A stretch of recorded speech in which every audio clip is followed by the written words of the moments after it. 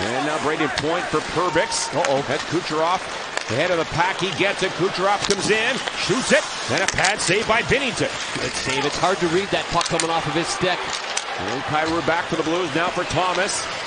Return feed for Kyrou. Buchnevich in the slot, gets it, shoots, he scores! Buchnevich, and it's 3-2. Kucherov on the wing, down to the butterfly, and now the Blues go the other way. Great play by Kyrou to separate the man from the puck, and then it's a backhand saucer pass right there to Kyrou, who makes the pass to Buchnevich. Their game has not been consistent so far in this one, but that's how long it takes.